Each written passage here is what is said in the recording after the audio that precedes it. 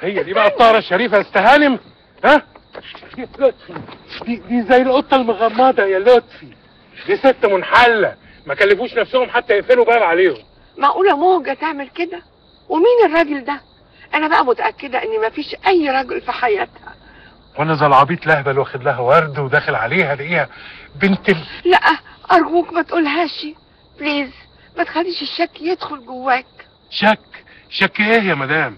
ده إحنا الاتنين دخلنا عليهم ولقيناهم مقطعين بعض. و... ما تقولهاش. بليز يا لطفي؟ ما تقولهاش. ده هي تحت وهو فوق يا هانم. هي تحت وهو فوق. دي اوضه المرحوم يا باشا.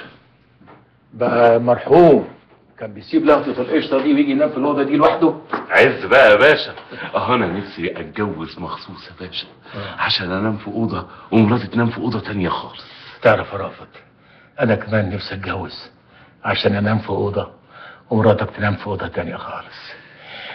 إيه. إنما أنت ليه يا رافض ما اتجوزتش لغاية دلوقتي؟ قارين فاتحه من تسع سنين يا باشا. تسع سنين؟ ودي صورتها قبل الفتحة ولا بعد الفتحة؟ جوازها أصلها متعثره شوية. الله. أنت كمان متعثر الدولة مش عايزانا نتجوز يا باشا. ليه؟ أنت خطيبها من حركة كفاية؟ لما تبقى الشقة التعبانة أوضة وصالة ب 80000 جنيه تبقى الدولة مش عايزة لما الفرح المعفن يخش له في 10000 جنيه يبقى الدولة مش عايزة يا باشا لما المرتب يخلص بعد أسبوع من الشهر وبقية الشهر ناكل عيش حاف ده لو لقيناه يبقى الدولة مش عايزة يا باشا يعني أبوها وأمها موافقين؟ طايرين بيا يا باشا مم. والبنت بتحبك؟ أكتر من عمرو دياب سيادتك وبتجيب لي دباديب كمان. ده بديل آه. والدولة هي اللي مش عايزة ها؟ أيوه يا باشا. مين بالظبط في الدولة اللي مش عايز؟ ما كلهم حبايبنا. ما توديناش في ده يا باشا يعني ما توقعناش في الغلط سيادتك. طب ما تروح للكبير. كبير مين سيادتك؟ ما تروح للرئيس. نعم. نعم إيه؟ تروح لرئيس الجمهورية. سيادتك عايزني أروح أنا للريس أقول له إن أنا عايز أتجوز تهاني يعني هو سيادتك الريس يعرف تهاني؟ الرئيس يعرف تهاني وزكية وعلية ولبني وكندريزة رئيس. الله مش رئيس؟ لا يا باشا سيادتك ده أنا طب ساكت يعني. أنا أقف قدام الريس وجها لوجه كده. ده, ده كلام ما يطلعش يا باشا. تعال. اعتبرنا أنا الرئيس.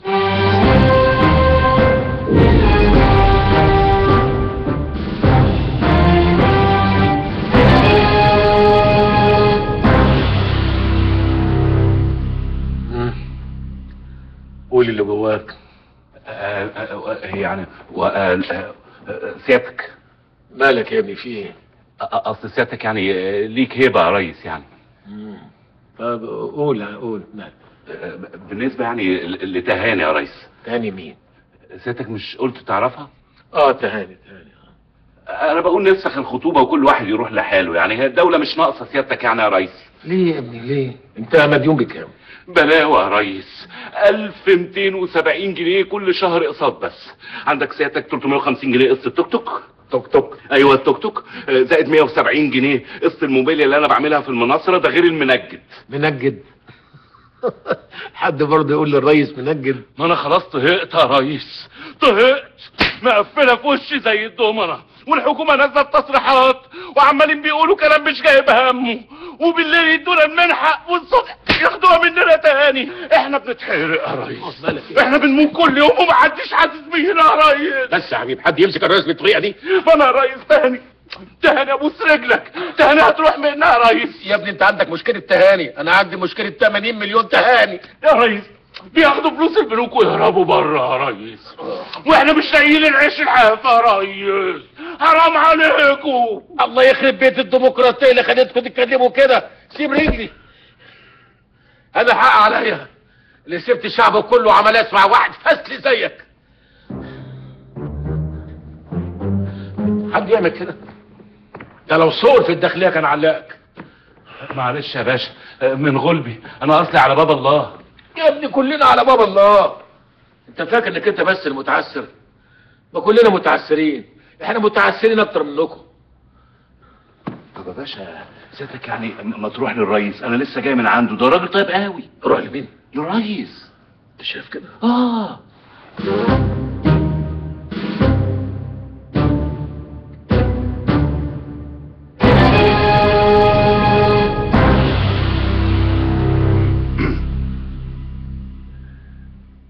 مساء الخير يا ريس ربنا يديك الصحة والعافية وطولة العمر. ويدينا إحنا على قد نيتنا الوسخة والغل اللي جوانا. ما تنساش تكلموا على موضوع تهاني. تاني آه. أنت فاكر يا ريس لما أنا كنت الريس وأنت مش الريس وقعدت تمسكني من الجاكيتة وتزعق كده وتفتك في وشي؟ ها؟ طيب. أنا دلوقتي بقى مش الريس. وأنت الريس.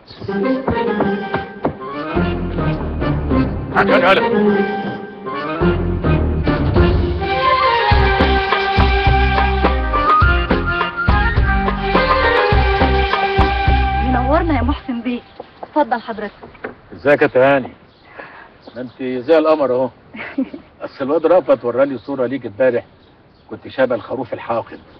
أبويا برضو كان بيقول لي كده. بيقول لك كده. انما إيه ده كله؟ بتوصيه بيا كده ليه؟ أصل رأفت موصيني على حضرتك بالذات. انت عرفت رأفت إزاي؟ في الكلية. اصلنا كنا بندرس سوا في معهد خدمة اجتماعية. وحبينا بعض بقى. وبعد ما خلصنا المعهد رأفت دخل تجارة. وأنا دخلت آداب. وبعد ما خلص تجارة كمل في حقوق. وأنا كملت في رياض اطفال وهو دلوقتي إيه؟ ما شاء الله في المعهد العالي لإعادة إعداد القاده المتوترين. أنتوا مقضينا بقى شهادات ومفيش جواز. هنعمل إيه بقى يا باشا؟ ما إحنا عايزين نكون نفسنا. آه ما أنتوا بقالكوا تسع سنين بتكونوا نفسيكم. ما هو رأفت شغال الصبح على التوك توك وبالليل بيشتغل هنا. وأنا بقى بشتغل هنا الصبح وبالليل في مكتب كمبيوتر. أمال بتتقابلوا إمتى؟ الفجر. لا طبعا. رأفت شغال أمن على compound طول الليل لحد الصبح. عايزين نخلص بقى من الاقساط اللي علينا. الاقساط آه. وأنا مقعدني هنا بالاقساط الباشا الكبير قوي! الله انت إيه اللي جابك يا ده رافت وأنا يا باشا ما أقدرش افوت فرصة أشوف سعادتك يعني واضيعها. انت ابن حلال. والله ابن حلال. مش انت انت ابن حرام. انت ما دخلتش الفيلا ليه؟ إيه؟ تهت تهت إزاي؟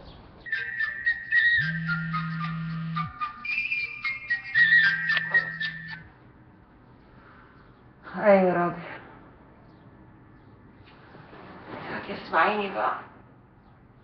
يا بنتي انت مش فاهمة إيه اللي حصل لي امبارح؟ أنا في مصيبة وطبت على دماغي. الراجل ده وقح وقليل الأدب. كان جاي يعزي في جوزي. أنا كنت فاكرة كده. تهجم عليا وضربني. كان شارب وحالته زي الزفت. معلش يا محسن بيه. البوسطة أصلا متأخرة ولازم تتوزي النهارده. شوية فول بقى يا باشا عمولة مخصوص من عند الجحش. تفطر حلمي دايما عامل يا باشا.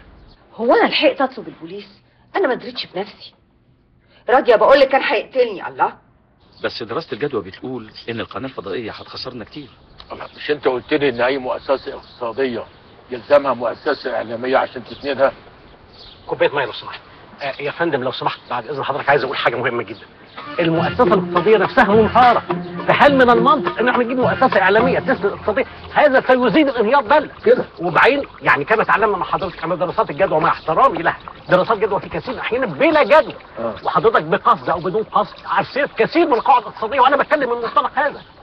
هذا قد يكون جائز في حالات أخرى لكن في حالات ده لا يا رافض مالك. أنا آسف جدا يا فندم.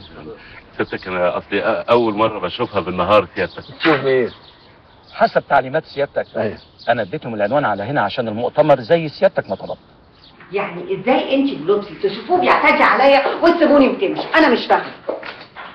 هو فكر كده؟ لا ده يبقى شكاك كويس قوي إن إحنا ما تسرعناش. بصي أنت عارفة كويس قوي إن محدش مد إيده عليا من ساعة ما المرحومه مات صح ولا غلط؟ وعارفة إن هو جنبك. يجي ويعتذر لي بنفسه.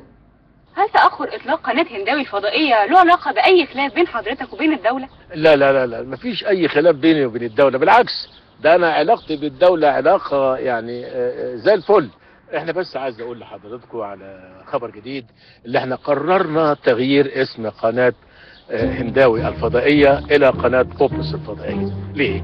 لأن بوبس بيدي معنى يا نهار أبوك واقعي انتمائي جغرافي. ي- بيبقى بيطرح أطروحة آه، إقليمية. يعني تمتد إلى إلى البحر الأبيض المتوسط فيه مفهوم بحراوي أبيضاوي.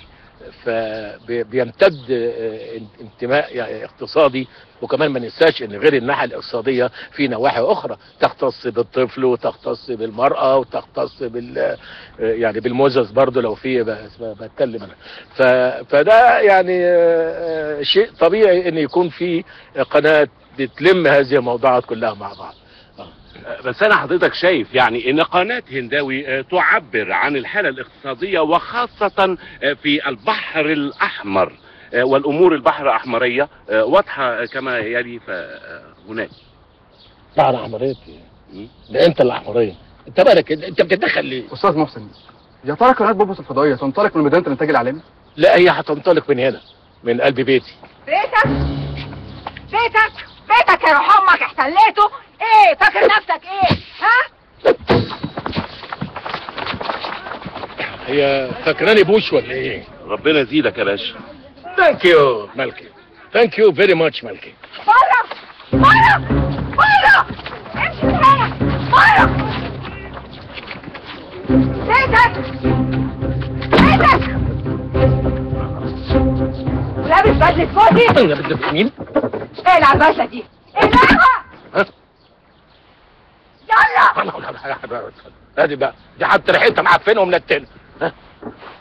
اقلع الهدوم دي قلع ده كمان اقلع ها؟ ده حتى ريحته معفنه راخر والزار كان بياكل زيت خروع وزانق على كل حتة في جسمه ها، وادي البنطلون كمان يا نهار اسود ومنيل لابس البوكسر بتاع المرحوم الف رحمه ونور تنزل عليه اقلع البوكسر ده ما أنا لو قلعت البوكسر المرحوم هيزعل اقلع طب ليه ما بتقولي ليش اقلع القميص؟ اشمعنى البوكسر يعني؟ انت مش هتجيبها بره خالص. أنا حاسس بقى. مش هسيبك